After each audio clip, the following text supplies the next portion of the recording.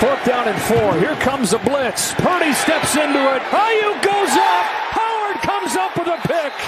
First one of the year for Xavien Howard.